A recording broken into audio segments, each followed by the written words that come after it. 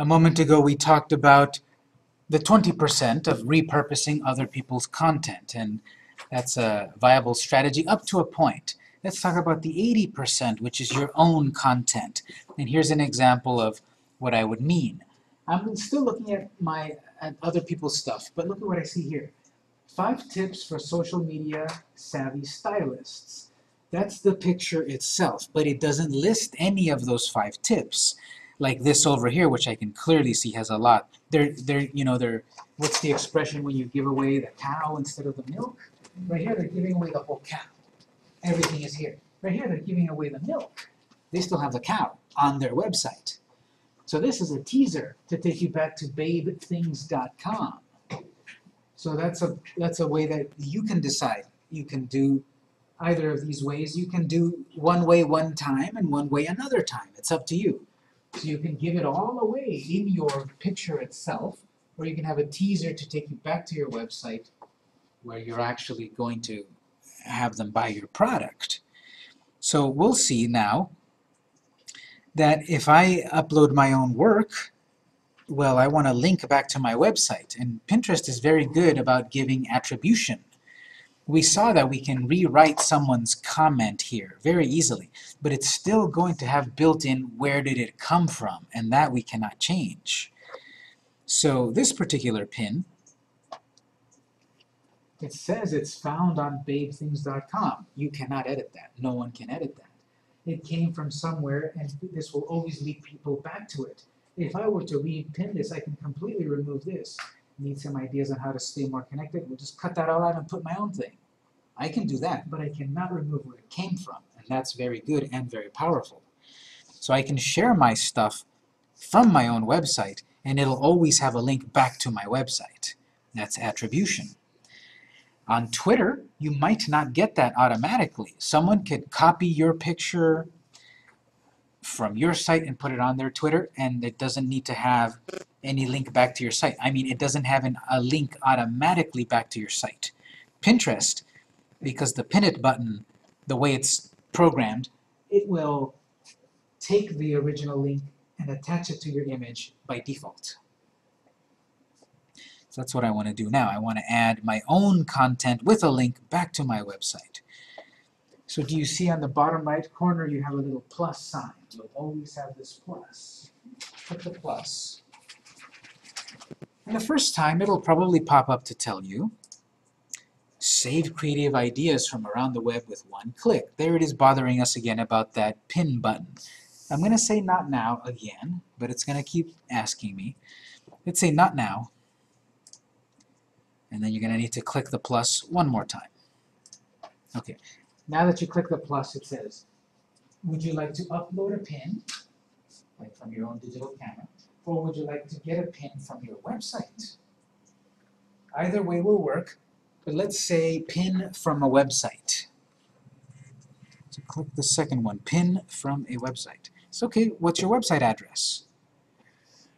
So the, that little button that it keeps telling me, get this button, it might be a little faster because if I'm on my website, pmdinteractive.com, and I want to share one of my blog posts, and I've got the pin it button directly here, it'll go quickly to Pinterest. What we're doing right here requires a little bit of an extra step. It requires you to, to copy and paste the address of your, of your website or your, your, your content let's say I want to share from my blog post, from my website, the blog post, the blog checklists, part 3 of 3. Let's say I didn't have that pin button. I would copy the link, and I would paste it here. Next. And what Pinterest will do is it will analyze that page, find a picture. It found this picture. And when I pick it, it'll say, okay, great what description do you want, what pin do you want, what pin board do you want to put it in, and it will automatically have the link back to my website. You can't just type it in, Type, you can't just put it in, you have to copy it and paste it. If you know your address, type it in, yes. Oh. But I don't know my address to this particular post. I know Oh. PMD Interactive, but I don't remember slash 2015 slash 09 slash 22 slash the dash blog blah blah blah blah blah. So yeah, if you know your address, definitely just type it in. But usually you want to copy it so you don't misspell it.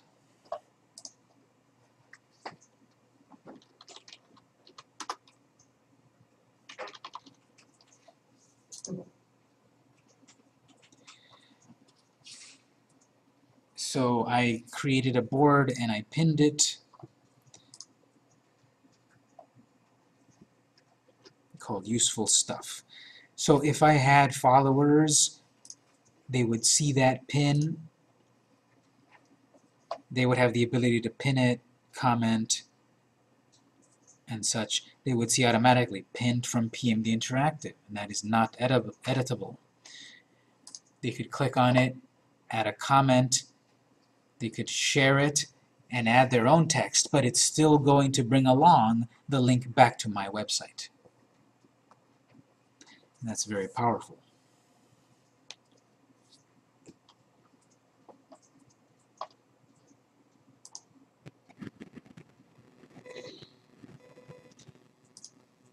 So yes, that pin it from website is powerful, but it requires that you add an address. Now, if you simply add your, your main address, that's not as effective. pmdinteractive.com. This is only going to look, it doesn't go deeper than the address that you feed it. It this is looking on our home page, and it's finding these graphics, but it's not getting deeper into the other blog posts or into the products. It just sees what's on this page that you added to the address. So if I wanted to pin this one, well, it's just that picture. It's not pointing to the page about about uh, hire us as a web designer.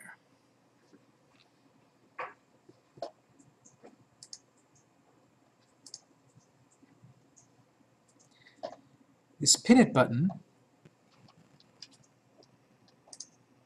let's say this one, I want to pin this click pin it, and then it pops up in a different way. Okay, you're about to share that, that photo, and look, it already took a little text for me, built into the picture, and I can then put it into the, the board. That pin it button might be more useful for you to use. That requires, on your website, to activate that ability. We, we're not going to get a chance to do it here together, because I've got this website, it's made in WordPress, and then there is a there is a button that I have to turn on in the WordPress settings that lets the Pinterest feature work. So your website might have the same thing. Turn on social media, for example. If it doesn't, there's other ways to do it, like Pinterest will say, okay, copy this code from Pinterest and paste it onto your site, and then it'll work. It's really going to depend on what your how your site is built, what software built your site. If you use something like uh, Dreamweaver, it would be a different procedure to get the Pinterest button to work than if you did it with WordPress, than with Joomla, than with Squarespace and Wix and whatever. But that might be the fastest way to get your stuff on Pinterest. The pin, the pin it button is going to go much quicker to your site instead of what you saw me do a moment ago. I have to copy and paste, and then I have to and then I have to go through that, th through those hoops.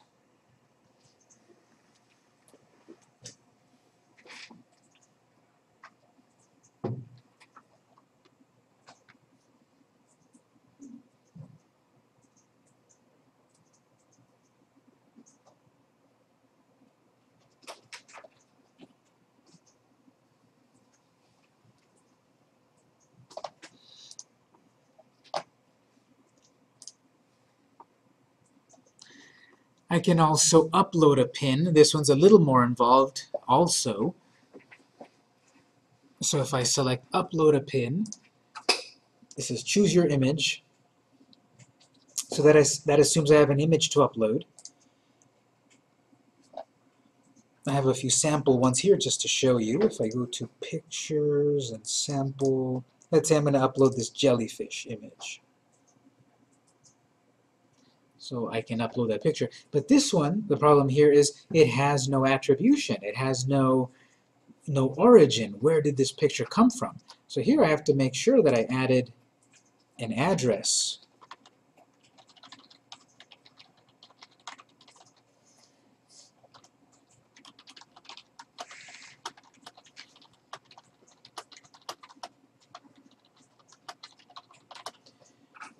address and then that will have a link back to my website.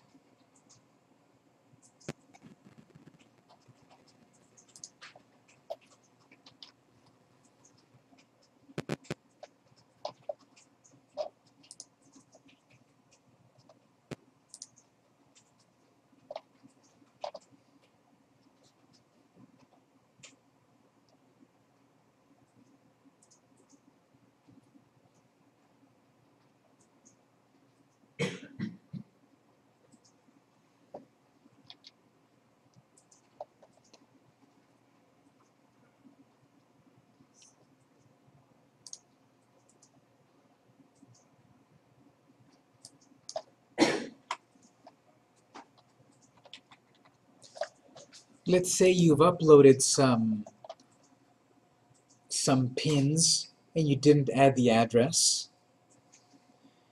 You can add it in another way like this.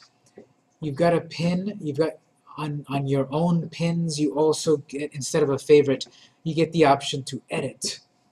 So on other people's pins you get the favorite, on your own pins you get edit. So let's say you misspelled something. You can click edit, you can go back to edit the description. If you didn't add a link on your description, you can also add it on the website. And that will be like what we saw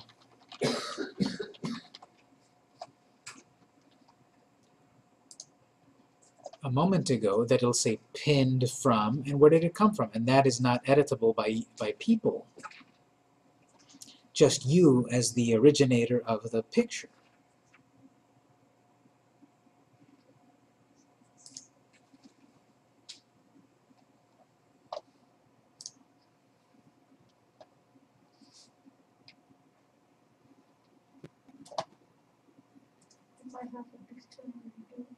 like what I saw, I take and I explain what is that means, what is this how they can my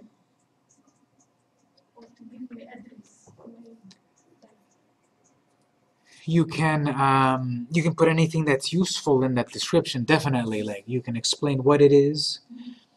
You can explain where to buy it or, or how to how to use it so anything you want to add in that in that in that description will be useful because then when people search the words that you use there could help you get found and then what's also very useful is to have that link that website so that people can go back to the website to to buy or whatever it is you're trying to do on the website.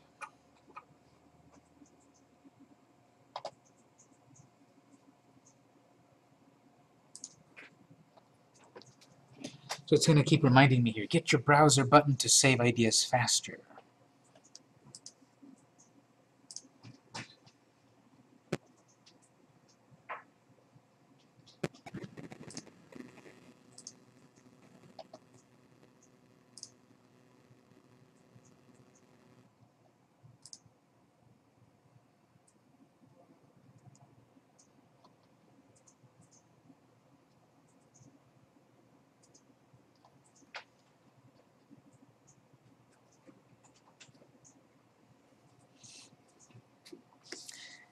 Be mixing then 20% of other people's content and 80% my own content.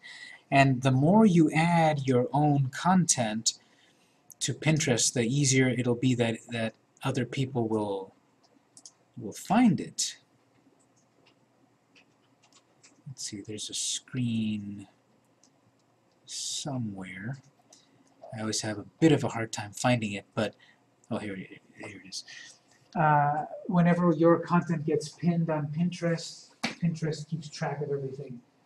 So it'll say more from pmdinteractive.com. So if you are uploading your own pins or you're adding pins from your website, Pinterest is going to keep track of that. So if someone saw this, they might then see, well, what's that one?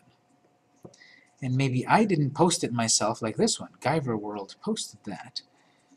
Sunglassable posted that. Teresa Bill Teresa Bills posted that. Other people posted or reposted, repinned this these pins, and so I'm building a presence on Pinterest.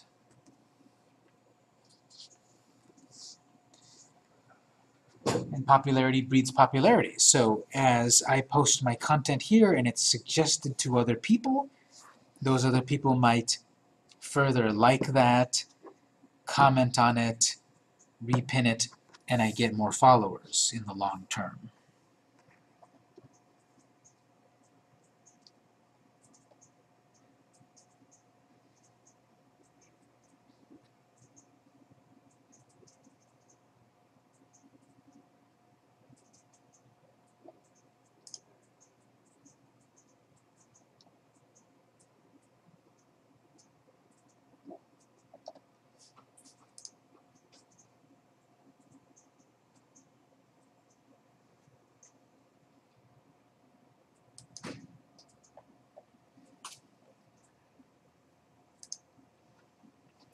Oh, I, I closed it without thinking, but it popped up to say, get Pinterest on your phone. So you've got an app also. You've got the Pinterest app for Android and, and iPhone and Windows phones. So get the app also. And you've got this camera, if you've got a smartphone, you've got this camera where on the spot you can take photos of your products and right away share them on, on Pinterest. You have the full features on the app that you have on the website. The ability to add photos and text and links and you've got the photos easier to do because it's right on the phone. And it's on the go and you can attach I believe you can attach the location. And uh, so the more you do it the more potential audience you can get. The more content you're putting on Pinterest the more it can be found. And it's just a matter of, of using it, of being active on social media.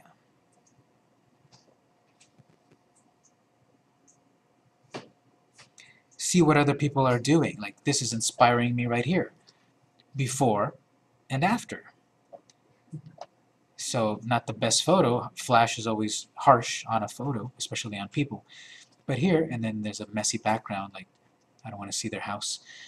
And so here I see the ingredients before relatively nicely put together, harsh flash, but it's a good photo. And then after. So how can I do that with Victor's Bakery? Same thing. Have a table full here of all the ingredients, the flour and everything. Take that photo, bake the donuts, or, or you know, fry the donuts, and then have a plate of them afterward. Take another photo. There's before and after. That's cool. That can work for just about everything. Maybe I'm a novelist.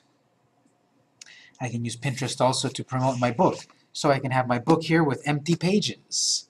And then the after is then I've got words written on the page.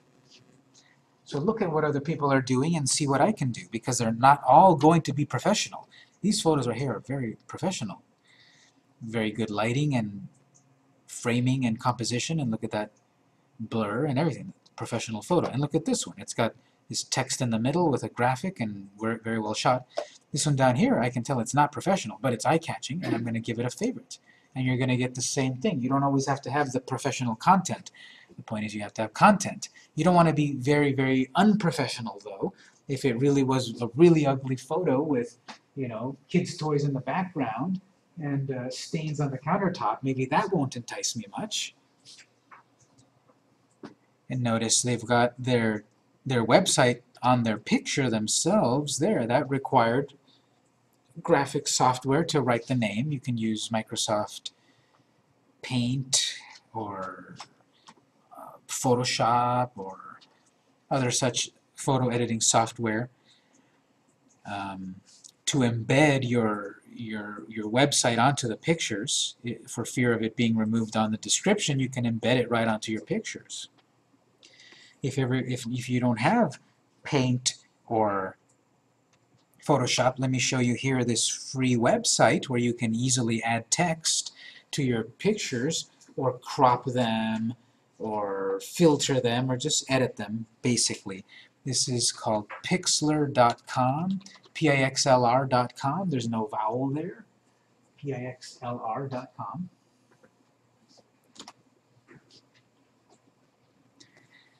Pixlr.com, you have the editor and the express. The editor is the is the one that gives you the more powerful tools like Photoshop. But the express is the one where you can quickly add text, borders, effects.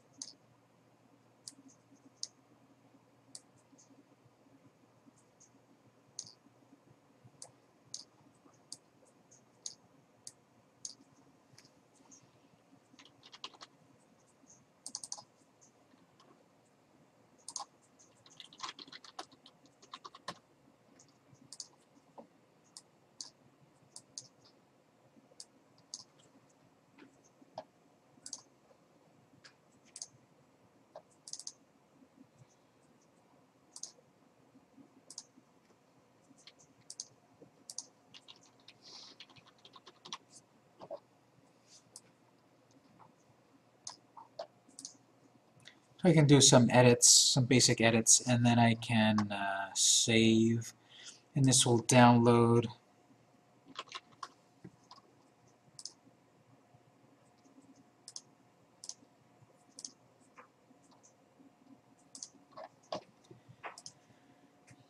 And so any any software to edit your images, and I'm just showing you Pixlr because it's a it's a quick one. And here I'm going to upload my photo with my text on it. And that way I can be sure that it, someone doesn't repurpose it too much.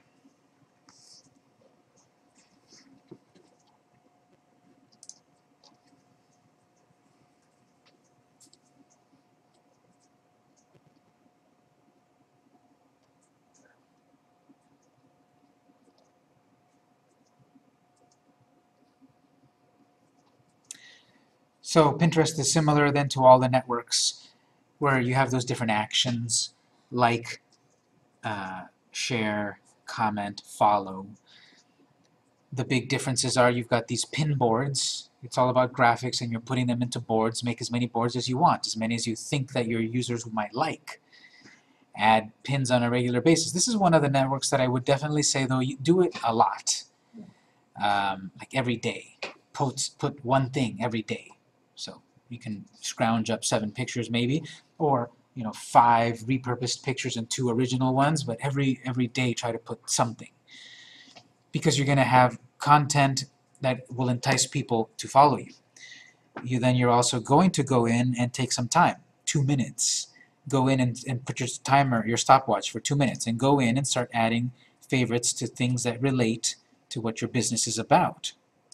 Some of them will will eventually follow you back. Some will ignore you. Maybe take five minutes to comment. That might be more powerful than a simple like because those are so transitory. But if you go in and start to reply, you click and you go comment. Take five minutes and comment on people's on people's pins. Maybe ask a question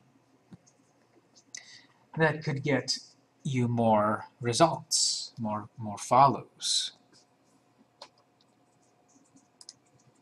Can you, can you go back one more time, how to, how to write, to go over? We'll do that during the break because that was the whole process of going into Pixlr.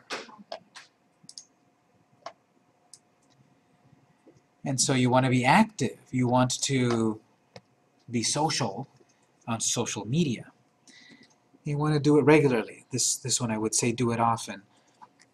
And whenever you add your own content, somewhere there, make sure that it has a link back to your website. You don't want your your your pins to be orphaned. Where did they come from? Where were where, where were their parents? So whenever you pin from a website, that's the one that's going to guarantee a link back to your website. Whenever you upload a pin, you have to make sure that you've manually added a link either in the description or the way I kind of prefer it a little bit more is, and it takes also a few more steps, after you've uploaded the photo, then you edit the photo and add the website. Because if you only add it into the description, didn't we see a moment ago that people can edit the description to whatever they want? So they could remove your address from the description. But if you add it to the website field, no one can change that, only yourself.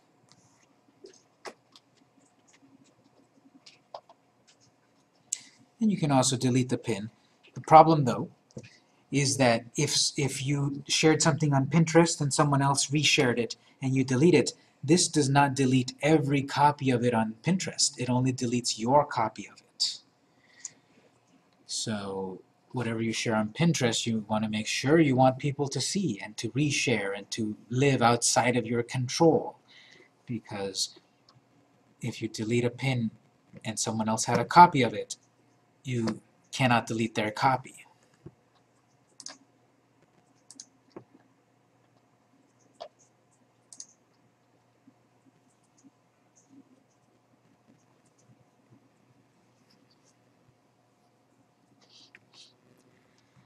So I think uh, we'll end the main lecture at this point. Have some lab time to digest this and maybe to do it, ask questions and such. Today is our last day of part one. We'll start part two next Wednesday and we'll go through the whole enrollment process.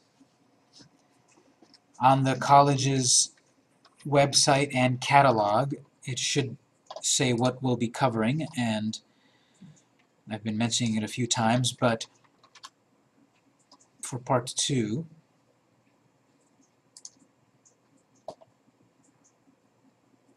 LinkedIn, Instagram, Yelp, and YouTube.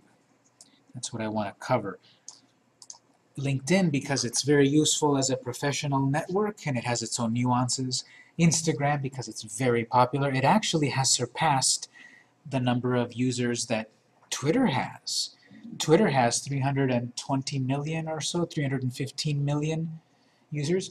Instagram just got to uh, 400 million. 400, I think. Maybe 500, but 400, let's say. So it's got more than Twitter. It's got more users than Twitter. Does it mean it's better or worse? I don't know. It depends on your business and its needs because Pinterest also relies a lot on graphics. You might say, well, I already have Pinterest. Why do I need Instagram? That, that's a good question. You might not need both. You might not need either. That's why we're doing a survey of this class. One day per week we talk about one network, then you can decide if it's for you or not. The thing about Pinterest uh, or Instagram when we get to it, when we come next time, you can only use Instagram on an app. You can only use Instagram on a mobile device. There is no Instagram website for you to upload. It has to be on an iPhone or an Android or an iPad or a Nexus tablet or whatever. It has to be a device.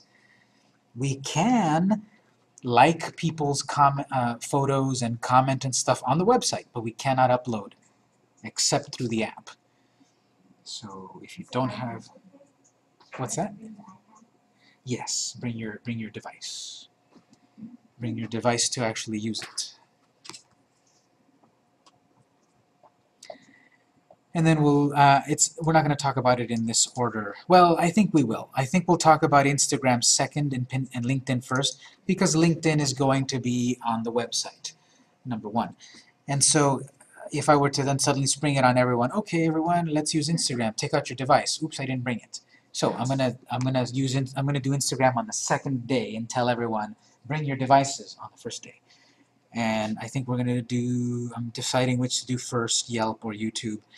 Uh, but we can all do, do those on the website. And then I'll actually, I'll probably do Yelp last and actually take a survey of the class. Do you even want to talk about Yelp or do you want to talk about something else?